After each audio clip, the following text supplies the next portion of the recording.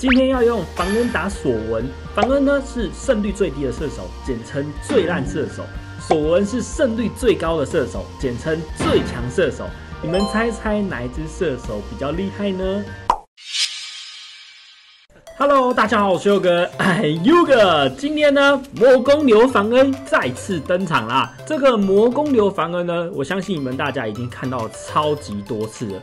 我为什么会一直玩魔宫流凡恩？肯定就是因为它真的很强。可是呢，老实讲哦，很多人把魔宫流凡恩玩得很差，所以今天我一定要跟你们说，魔宫流凡恩它到底强在哪边，然后你们需要注意哪一些细节。好。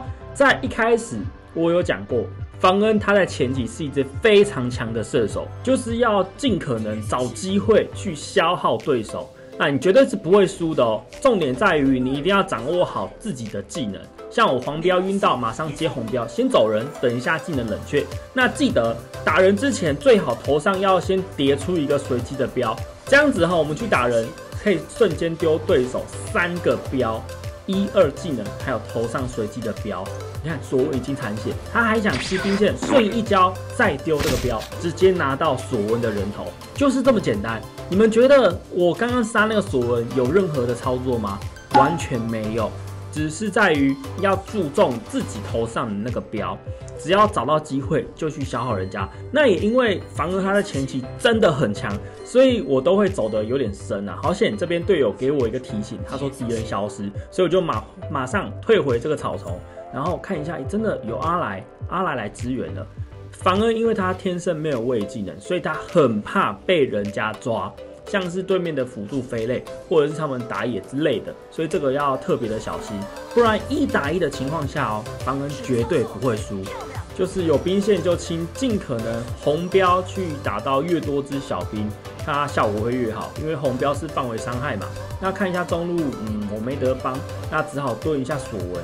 那其实我这个位置就有点站得太前面了啦。你看哦，确实有消耗到索文，可是飞类。一来支援，跳一下插一下，哇，我就要被他抓死，好险！最后换掉一个索文哎，有没有看到房恩他的瞬伤就是那么高？再吃个小野怪，经济绝对不能输给人家啦。那这边想说吃个灵鸟，但是吃着吃着，看一下那索文好像位置有点深，可是我又不太敢出去，因为我没有发现那个飞类的位置，所以先清个兵线，吃个灵鸟，稳稳的，稳稳的。往前走，突然看到飞类，还有索文弄出来，这个不得了，好险我有瞬移，然后哦，差一点我死掉，欧利嘎仔，可是这个飞类，我顺伤打下去，最后我的大招如果不要歪掉的话，我觉得飞雷会被我秒掉。好了，反正我死掉了，没什么好说的。辅助终于想起我了啊，就甘心呢，他终于来帮我了，他可以帮我占视野啦，这个真的很重要。因为我没有位移技能嘛，突然看到人哦，那个撤退路线太长了，这边呢差一点秒掉飞雷，不要跑掉了。我跟那个雾己的伤害都蛮高的哦，看来看去好像可以吃个魔龙，但是打野离我们很远。如果突然对面的打野来了，这个魔龙很有可能会被抢，又或者是索文开个大招，这个魔龙也会被抢。但我们蛮 lucky 的啦，没有人过来，没有人发现我们在吃魔龙。前期就是五五坡嘛，就是大家一样五比五，可以吧？我觉得不是一个顺风场，也不是一个逆风场，这样子来看，这个反人是最准的。那利用点时间吃个下野怪，赶快把我的皇冠出起来。现在我已经学乖了，我被飞雷弄了两次哦，现在我都打得很乖。你看刚刚飞雷突然跳进我前面的草丛，我现在真的蛮怕飞雷的。不怕索文，但是怕他的队友。那我现在直接退到草丛哦。那确定有队友来帮我，我才会去清这个兵。如果队友没来的话，我很有可能会被塔杀，这个要注意哦。所以不要为了守塔而送掉自己的命。那现在确定了，辅助就在我旁边，所以我的位置呢站得蛮出来的。嗯，索文跑去中路，可是飞泪还在我这，这边就要小心了。因为飞泪嘛，感觉就是会直接跳跳到我的脸上，所以距离一定要拉好。我们的打野来了，所以我这边往前走，飞泪一脚就给我跳上来，要确定呢，他直接被秒掉。雾己直接开大招杀进去，然后吃了阿来的榜，阿来没有榜，我肯定往前帮忙杀这个阿来啊。队友已经帮你吃榜了，你就勇敢的往前去打阿来。那我这边先跑，剩下的就交给你了，纳克，交给你秀了，漂亮！他连人带塔一起拔掉，哎，这下路算是开通了啦。回补之后，帮忙纳克吃个魔龙。那这个魔龙呢是被发现了，安格烈突然杀进来，然后我一个大招把他秒掉啦。然后飞类跳过来，这个飞类肯定也是撑不过的啦。防恩真的很痛，那个瞬间爆发哦！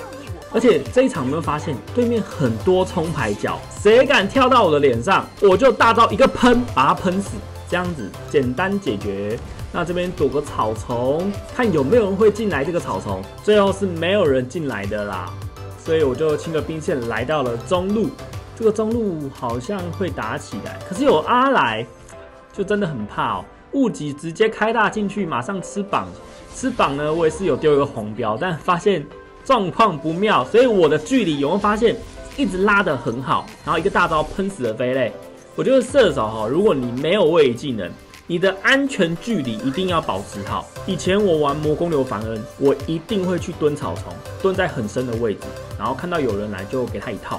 可这一场呢，我一次蹲草丛都没有，因为对面太多冲牌角了。那这边一样安全距离嘛，那个飞类直接跳过来。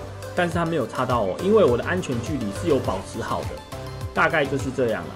那我蹲草丛啊，确实是可以秒掉一只，但也有可能我秒掉一只之后，我也会被人家抓掉。所以这一场我还是以发育跟稳稳打为主。那看到阿来吃榜了，我们先把索文杀掉。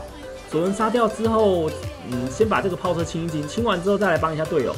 大招喷啊，飞类瞬间残血打死他了，再来处理这个瑞克。以前我的防恩也是绝对会走到人家的正前面去丢大招，但我这一场有没有发现，我也都是会保持一个安全距离就直接开大了。中路可以推哦，对面死了三个人，感觉可以推到高地耶。哎，不对，不行，因为现在推完呃二塔之后，兵线会走得很慢。啊，这个瑞克送头，瑞克送头可能要收下来的。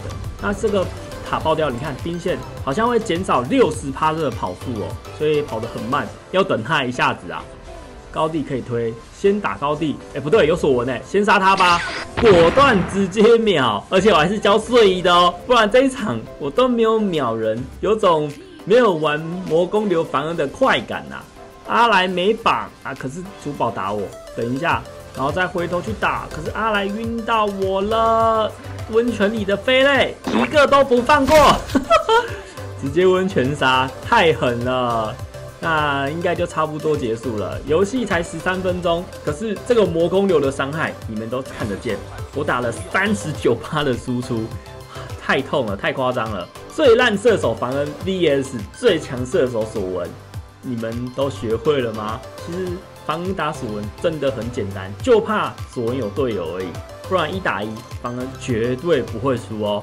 那我是佑哥，我们就下部影片见了，拜拜。